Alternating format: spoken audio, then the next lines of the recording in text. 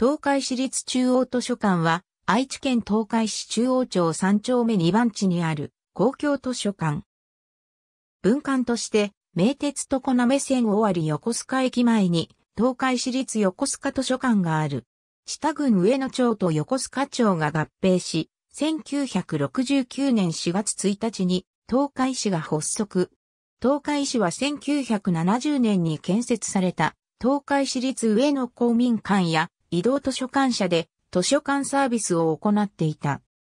1977年7月14日には、大池公園北東角に独立館である、東海市立中央図書館が開館。開館当時の延べ床面積は、名古屋市を除くと、豊橋市図書館、岡崎市立図書館に次いで、愛知県下3番目だった。2017年に開館40周年を迎えた。図書室が設置されていった東海市立上野公民館1969年4月1日、下郡上野町と横須賀町が合併して、愛知県下23番目の市として、東海市が誕生した。東海市は、誕生から約1年間で16もの施設の建設を行っており、東海市役所北庁舎の南側に、実質的な中央公民館である東海市立上野公民館の建設を計画。1969年10月に着工し、1970年4月1日に竣工した。上野公民館は鉄筋コンクリート造り2階建てであり、開館時の延べ床面積は1046平方メートルとも1153平方メートルとも。総工費は6480万円。1階には市民談話室、集会室、調理室、資料室が設置され、2階には講義室、展示室、図書室、会議室が設置された。1968年時点で蔵書数は3496冊であり、内訳は文学が約2300冊、歴史が約900冊、社会科学が約350冊などだった。1970年代には蔵書数を大きく増やし、1977年時点では約4万2000冊だった。1977年時点で東海市の人口は約9万6千人に達していたが、図書館は設置されておらず、上野公民館図書室と移動図書館舎、緑号で図書館サービスを行っていた。開館、編集大池公園と東海市役所1973年には大池公園の整備が完了した。東海市は地域の中央部にある大池公園の北東角に図書館の建設を計画し、1976年6月末までに用地の造成を行い、7月に建物の建設に着手。中部電力地高力発電所5号機、6号機の増設に伴う電源三方の交付金を主体として建設されており、総工費は約3億8000万円。1977年7月14日に東海市立中央図書館が開館した。開館に向けて約1万冊を新規購入しており、開館当時の蔵書数は約5万3500冊。延べ床面積は2400平方メートルであり、開館時には知多半島の図書館としては最大だった。また、この延べ床面積は名古屋市を除くと豊橋市図書館、岡崎市立図書館に次いで愛知県下3番目だった。開館当初の開館時間は10時から18時であり、休館日は火曜、祝日、月末日だった。貸し出し冊数は3冊まで。1階には特別閲覧室があり、視覚障害者用のヘッドフォンやテープレコーダーなど、車椅子利用者用のトイレ、展示ブロックの通路などの設備を有していた。利用者用エレベーターは設置されていないが、車椅子の利用者が申し出れば、書庫内の業務用エレベーターで2階に上がることができる。転訳ボランティアはおらず、開館時点で展示図書は一冊もなかった。全国の公共図書館では珍しく、床には吸音式のタイルカーペットを敷いた。収蔵可能冊数は16万5千冊であり、うち閉下書庫は12万冊。開館を記念して8月14日まで展示室で鉄と私たちの街と題した展示会を行った。東海市は鉄に関する資料室の設置を計画していたが、資料の収集が困難だったことから取りやめられている。開館後、編集インターネット開放端末や蔵書検索機1981年4月1日には大活字本、展示本コーナーを設置した。1982年7月15日には児童、親子閲覧室の拡張改修工事が完了した。1986年12月には開館以来の総入館者数が200万人を超えた。1987年7月1日にはコンピュータシステムを導入し、貸し出し、返却業務が円滑化されたことから、貸し出し冊数を1人10冊までに増やした。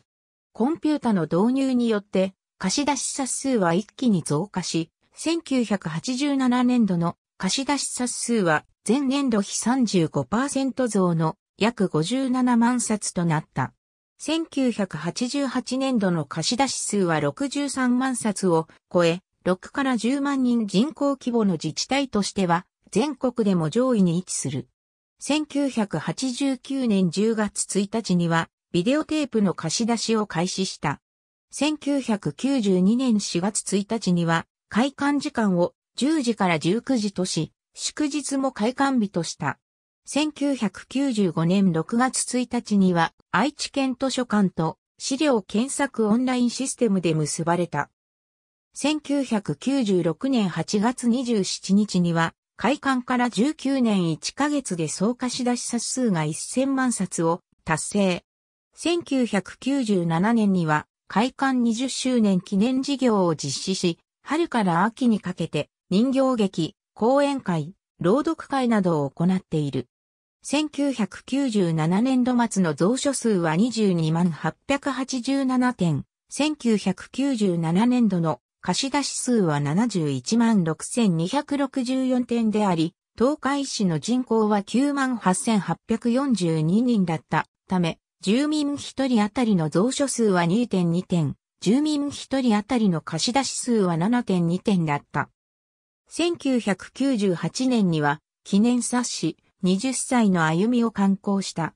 同年7月1日には利用者開放端末機を設置し、10月21日にはパソコン通信による資料検索を開始した。東海市図書コーナーを設置した日本福祉大学東海キャンパス。東海市は2000年10月20日に山形県米沢市と姉妹都市提携を結んだことから提携1周年記念日の2001年10月20日には米沢市の資料を集めた姉妹都市コーナーを設置した。2003年には DVD の貸し出しを開始し、小中学校の夏休み期間は月曜日も開館とした。2004年にはインターネット資料検索サービスを開始し、2005年にはインターネット予約サービスを開始した。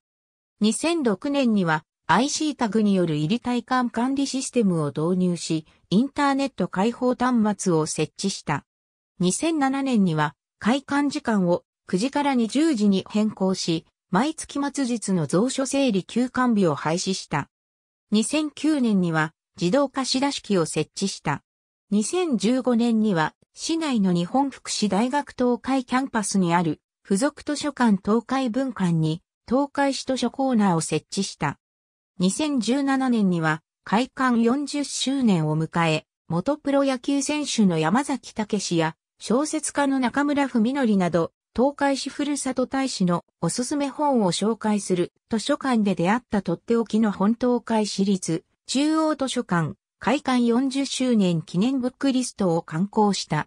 施設、編集玄関前広場にある細い平修造東海市立中央図書館の建物は暗褐色のレンガを模したタイルを貼った落ち着いた外観である。約26万冊の蔵書の他に1万点以上の視聴覚資料を所蔵している。玄関前広場には1977年の開館時に江戸時代の儒学者である細井平州の等身大座像が東海ライオンズクラブから寄付された。制作者は常滑市在住の彫刻家である片岡聖館であり、岡島金成東海市長が台座の大字を書いている。閲覧室の窓からは緑豊かな大池公園を眺めることができる。将来的な3階の増築が可能な設計となっている。公共交通機関では、名鉄と小滑線、高和線を大田川駅から東海市循環バス北、中ルートで中央図書館バス停下車すぐ。特殊コレクション、編集課に H 中文庫と岡島文庫東海市立中央図書館には特殊コレクションとして岡島文庫とカニ H 中文庫がある。東海市は名鉄と小滑線尾張横須賀駅前の JAI1 下横須賀支店ビルを取得し、図書館文館を含めた教育施設、学ぶん、横須賀として整備。2018年12月25日に開館式を行い、2019年1月4日に東海市立横須賀図書館が開館した。学ぶん、横須賀駅階と4階が横須賀図書館となっている。1階に街角サロン、一般コーナー、自動コーナー読み聞かせコーナー、閲覧コーナーが4階に閲覧学習コーナー、会議室が設けられている。2階には、不登校支援施設のホット、東海、3階には、東海市立教員研修センターが設けられている。名鉄と小滑線終わり横須賀駅西口からすぐの場所にある。東海市循環バス南ルート、終わり横須賀駅前下車すぐである。東海市芸術劇場、東海市青少年センター、東海市立上野公民館、東海市立緑洋市民館、東海市立吹島公民館、東海市立鍵谷市民館、東海市立鍵谷南市民館の計7施設をネットワーク施設と位置づけており、インターネット上で予約した図書の貸し出しや、中央図書館で借りた図書の返却などが可能である。中央図書館から各ネットワーク施設に対しては、毎週水曜日と金曜日の週2回の配送を行っている。2019年1月4日に東海市立横須賀図書館が開館したことから、2018年12月28日には東海市立文化センターのネットワーク施設としての役割を廃止した。東海市の市政施行直後の1969年には松田クラフトを用いて移動図書館車緑号の運行を開始している。1972年にはトルコ行進曲を移動図書館のテーマ曲に設定した。1978年度には駐車場数を26ステーションに増やし、月2回だった巡回を月1回に変更した。1979年8月1日には三菱、不走、ローザを購入して2代目車両に更新した。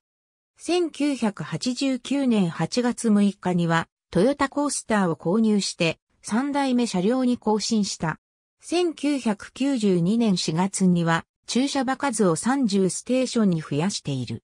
移動図書館サービスは2005年7月31日に廃止した。ありがとうございます。